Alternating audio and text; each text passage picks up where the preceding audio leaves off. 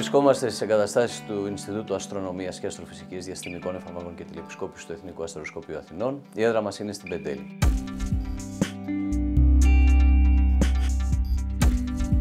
Στο χώρο αυτό που βρισκόμαστε λειτουργεί και έχω την ευθύνη να συντονίζω το Ευρωπαϊκό Κέντρο Διαστημικής Παρακολούθησης του Περιβάλλοντος της Γης, ένα κέντρο το οποίο έχει σαν σκοπό να συλλέγει συνεχώς πληροφορίες από τον πλανήτη για τα εξελισσόμενα φυσικά φαινόμενα και να ενημερώνει τις αρχές και τον πολίτη ώστε να ληφθούν έγκαιρα μέτρα προστασίας και διαχείρισης των φυσικών καταστροφών.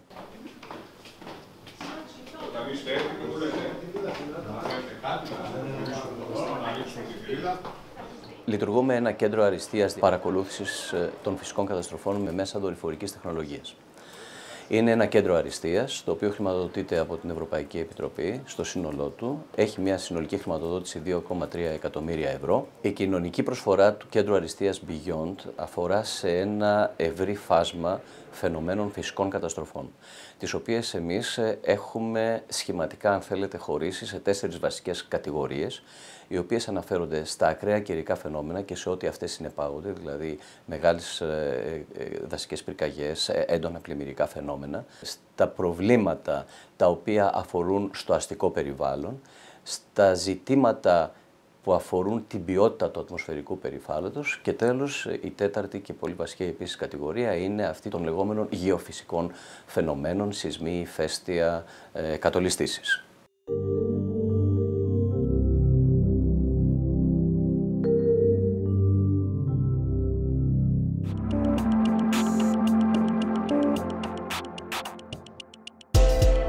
Η έντονη αστικοποίηση των τελευταίων ετών έχει επιφέρει μια αλλαγή στο αστικό θερμικό περιβάλλον, επειδή κυρίως το κέντρο των πόλεων είναι πιο θερμό από ό,τι οι περιαστικές περιοχές. Η μελέτη του φαινομένου της αστικής θερμικής νησίδας είναι πάρα πολύ σημαντική, γιατί επηρεάζει τα φαινόμενα καύσωνα. Η δορυφορική τηλεπισκόπηση, δηλαδή η παρατήρηση της γης από δορυφόρους, έχει να προσφέρει πολλά στην παρακολούθηση του αστικού θερμικού περιβάλλοντος. Εδώ έχουμε εικόνες στο θερμικό υπέρυθρο, τις οποίες τις αναλύουμε προκειμένου να βγάλουμε κάποιους δείκτες που έχουν να κάνουν με την αστική θερμική νησίδα και τους καύσονες. Αυτά τα δεδομένα, σε συνδυασμό και με άλλα, όπως είναι για παράδειγμα ο πληθυσμός ή η χρήση γης, μπορούν να συνδυαστούν προκειμένου να μας δώσουν κάποιους δείκτες επικινδυνότητας καύσωνα.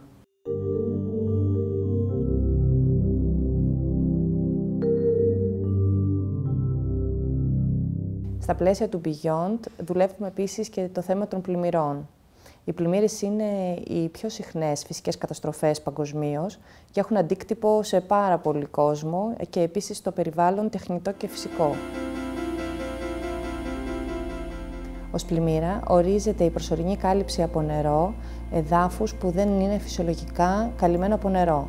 Αυτό μπορεί να περιλαμβάνει τόσο τα ποτάμια όσο και τις παράκτιες ε, περιοχές. Με το Beyond είναι η πρώτη φορά που επιχειρείται στην Ελλάδα σε τέτοια κλίμακα και με τέτοια ανάλυση να γίνει μια σωστή αντιμετώπιση της πρόγνωσης ας πούμε, των πλημμυρών και της καταγραφής με χρήση συνδυαστικά και των επίγειων μετρήσεων, αλλά και των πληροφοριών που μπορούμε να εξάγουμε από τα δεδομένα τηλεπισκόπησης, δορυφόρους, οπτικά και ραντάρ, εικόνες. Αυτό μας δίνει τη δυνατότητα να τρέχουμε μοντέλα και να μπορούμε να έχουμε συγκεκριμένα πληροφόρηση για τις συγκεκριμένους χρήστες, για την προστασία των πολιτών, αλλά και του περιβάλλοντος φυσικού και τεχνητού, από τους κινδύνους της πλημμύρας που δυστυχώς στη χώρα μας είναι μεγάλη, γιατί έχουμε περιοχές που έχουν πολύ μεγάλη βροχόπτωση και μάλιστα μεγάλης έντασης σε μικρή διάρκεια, το οποίο αυξάνει το κίνδυνο και τις συνέπειες από πλημμυρικά γεγονότα τέτοιας έκτασης.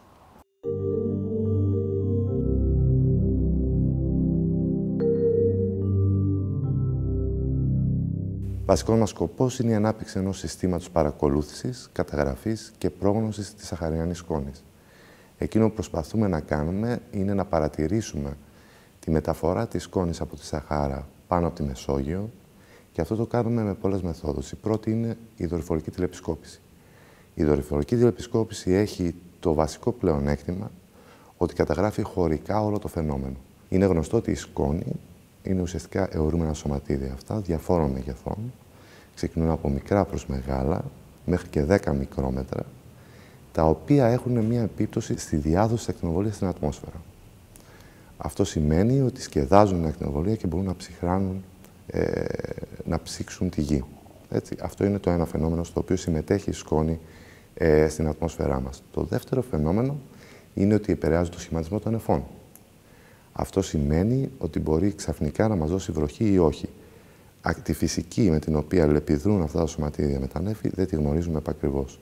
Και έτσι ε, όλες οι επίγειες υποδομές του αστροσκοπείου με τις οποίες μετρούμε τη σκόνη βοηθούν στο να διαλευκάνουμε και να μελετήσουμε το φαινόμενο αυτό. Και στο πλαίσιο του προγράμματος Beyond έχουμε αναπτύξει προηγμένες διατάξεις τηλεπισκόπησης από το έδαφος. Μια τέτοια διάταξη είναι το LIDAR. Το LIDAR είναι laser ακτινοβολία την οποία εκπέμπουμε στην ατμόσφαιρα, συλλέγουμε στο έδαφος, αναλύουμε και μπορούμε να δούμε τι γίνεται όχι μόνο στο, ό,τι γίνεται στο έδαφος, αλλά και στην ατμοσφαιρική στήλη. Επιπλέον της παρατήρησης, εκείνο που κάνουμε στο αστροσκοπείο είναι να αναπτύσσουμε μοντέλα, ατμοσφαιρικά μοντέλα, τα οποία προσωμιώνουν ε, τον κύκλο ζωής της σκόνης στην ατμόσφαιρα, της σαχαριανής σκόνης.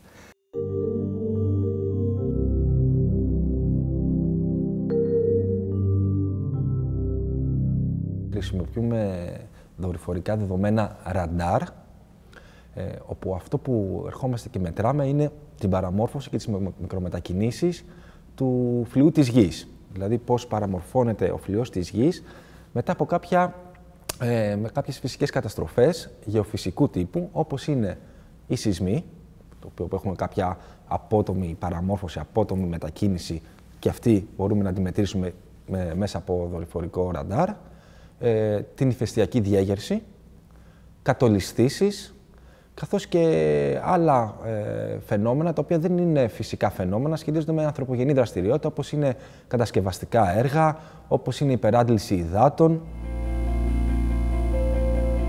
Με χρήση της ε, δορυφορικής τεχνολογίας ραντάρ, επίσης μπορούμε να μελετήσουμε και να παρακολουθήσουμε ε, την ηφαιστειακή διέγερση. Ένα χαρακτηριστικό παράδειγμα είναι η Σαντορίνη. Το Γενάρη του 2011 ε, παρακολουθήσαμε, παρατηρήσαμε ότι υπάρχει μια έντονη μικροσυσμικότητα στην περιοχή της καλδέρας της Σαντορίνης. Αμέσως παραγγείλαμε δορυφορικά δεδομένα από τον Ευρωπαϊκό Οργανισμό Διαστήματος, δεδομένα ENVISAT. Ήταν μια χρονοσυρά από δεδομένα αυτά που καλύψανε την όλο το έτος του 2011 και το 2012. Τα αναλύσαμε, επεξεργαστήκαμε αυτή τη χρονοσυρά και αυτό που είδαμε είναι ότι η Σαντορίνη στην ουσία φούσκωνε με πολύ έντονο ρυθμό που έφτανε μέχρι και τα 15 εκατοστά ένα έτος σε περιοχές όπως είναι το Ημεροβίκλι, τα Φυρά, έτσι γνωστές τουριστικές ε, περιοχές. Και πάλι σε δεύτερη φάση ήρθε η γεωφυσική ερμηνεία. Γιατί υπάρχει όλη αυτή η, η, παραμόρφωση; Ε, και αυτό που συνέβαινε στην ουσία είναι ότι σε ε, περίπου 4 χιλιόμετρα βάθος κάτω από την καλντέρα, υποθαλάσσια δηλαδή, υπήρχε ένας ε, θόλος, μαγματικός θόλος, ένα μπορείτε να το φανταστείτε σαν ένα ξεφούσκωτο μπαλόνι, στο οποίο αυτό το ξεφούσκωτο μπαλόνι άρχισε να εισραίει μαγνητικό υλικό. Αυτό έχει σαν αποτέλεσμα να φουσκώνει τον μπαλόνι σιγά σιγά, με αποτέλεσμα να πιέζει τη Σαντορίνη και να ανυψώνεται. Μια ακόμα υπηρεσία η οποία προσφέρεται εδώ πέρα από το αστεροσκοπείο, στα πλαίσια του κέντρου αριστείας ε, Beyond, είναι στην περίπτωση που έχουμε κάποιο μεγάλο σεισμό, που όπως ήταν αυτός στην Κεφαλονιά, σε λίγο χρόνο μετά το σεισμό μπορούμε να πάρουμε ένα UAV, ένα δηλαδή αεροπλανάκι το οποίο στην ουσία το κουμαντάρουμε, το χειριζόμαστε από το έδαφος, στο οποίο βάζουμε πάνω μία κάμερα, πετάμε πάνω από την ε, περιοχή η οποία έχει πληγεί και χαρτογραφούμε τις ζημιές.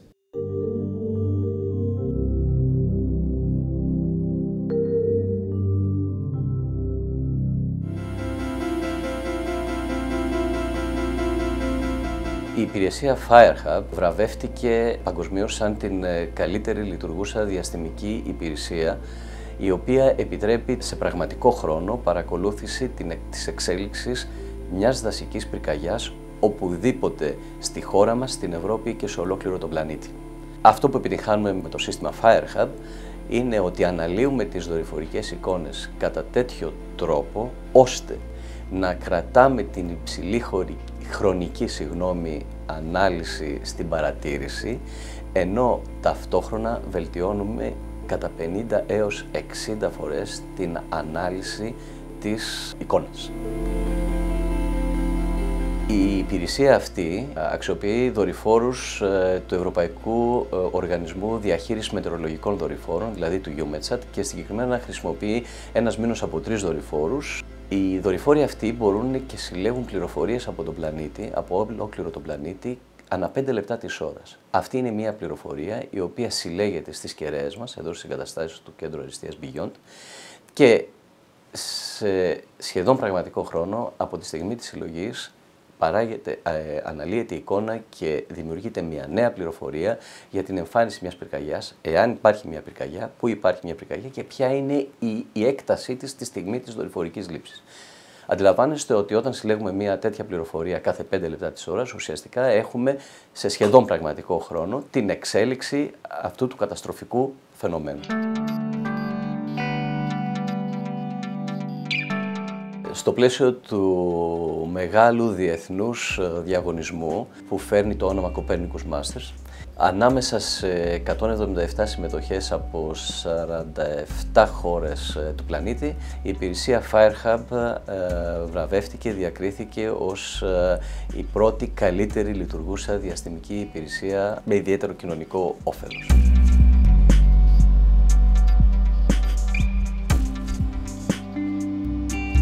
Ένας από τους τομείς της αριστείας του κέντρου Beyond είναι η συμμετοχή μας σε δραστηριότητες οι οποίες έχουν να κάνουν με τη βαθμονόμηση των μελλοντικών δεκτών των δορυφορικών αποστολών.